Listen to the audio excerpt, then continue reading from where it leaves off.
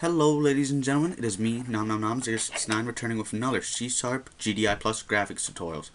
And last time we do strings, and that was fun. But today we're going to do something uh, I like to do better. Um, we're going to be drawing pies, or more specifically, sphere-looking objects. So you, there's several different ways you can draw a fill pie, and you can just regular draw a pie, which will just be like the arc. It's it's well, we'll do arcs. So E graphics draw uh, draw pie.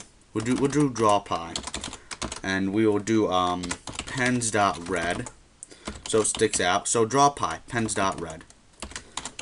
Um, so that it's a nice red color. Our rectangle. Um, what our rectangle is gonna do is make a circle that fits within the rectangle. So say we have like a 50 high by 100 wide, it will it will draw a circle that is completely enclosed in there that touches uh, the four edges.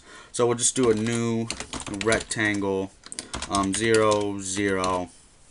Um, let's give it a width of 100 and a height of 50. Um, the start angle, um, this is, can be between 0 and 360, and your sweep angle can be between 0 and 360. So we'll just do 0, um, 360.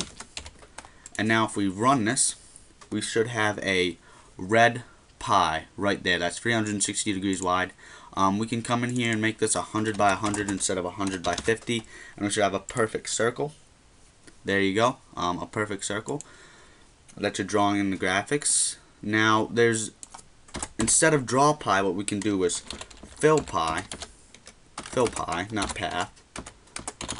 And this uh, this takes a brush, because brushes are used for fillings. We can do brushes. Brushes dot red um, new rectangle.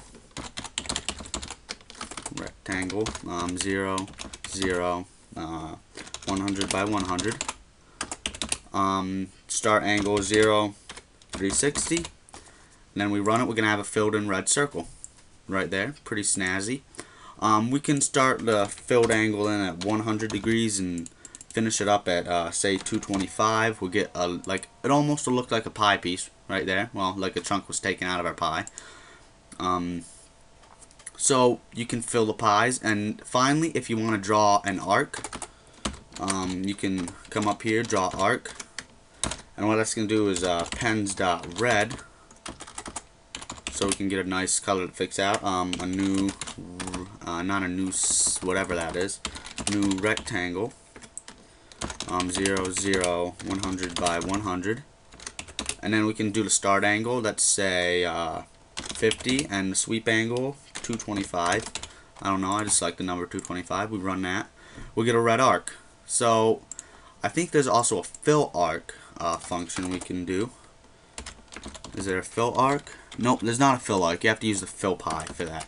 But uh, there's pretty much how you draw spherical objects in the CDR, CD, C Sharp GDI Plus graphics. I know I really ran through that tutorial like at a crazy fast rate, but uh, that stuff is really simple. And if you just read the function and it's over, and if you just read the function, and you look through the overloads to find the one you specifically want. It's it's really easy.